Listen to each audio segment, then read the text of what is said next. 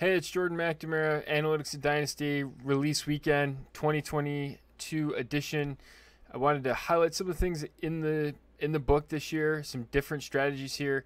Uh, it's a recap of prior editions. I go through some key concepts: Rule of Seven, Rule of Eight, uh, Rule of 105, Rule of 112. If you're familiar with the Analytics Dynasty, you kind of know what those things mean. If you're not, I'll get you caught up to speed. Uh, how important scoring points is, uh, some of the myths around dynasty fantasy football, like consistency and those sorts of things. Take you through some of the foundational stuff about why zero running back works, the value of rookie picks, and uh, and and the way to look at things and incorporate them into your dynasty strategy. Also look at base rates, density rates, a couple other things along that line.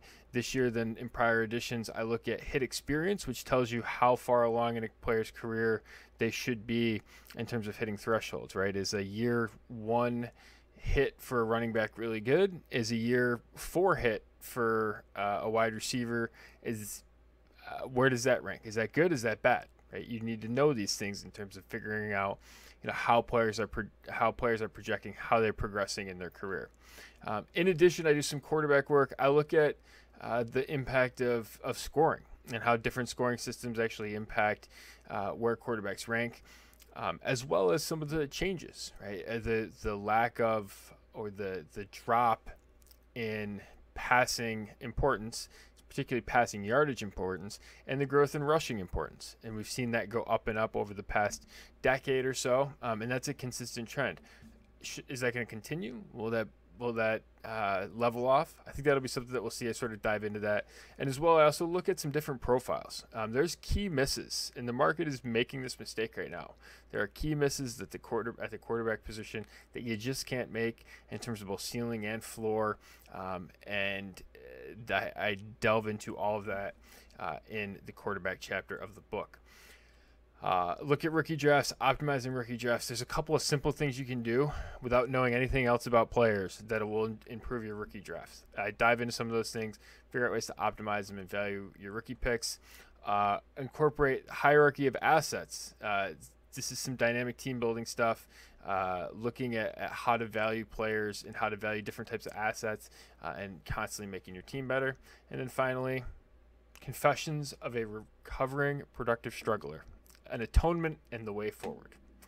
Uh, the highlight of my writing this year, looking at some of my past mistakes and particularly embracing uh, the productive struggle as the core dynasty strategy. I don't think it's something that you can really do successfully uh, over and over again. Now I think there's a lot more value in, in going other ways.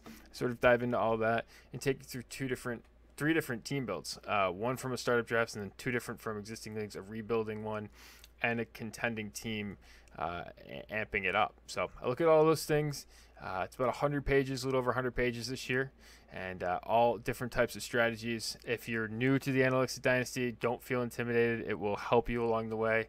Um, lots of charts lots of graphs that'll sort of show you some of the number stuffs but i break it down for you. I actually think there's a lot more strategic writing in this one uh, and, a lot more play by play in terms of how to do stuff than there has been in, in years past.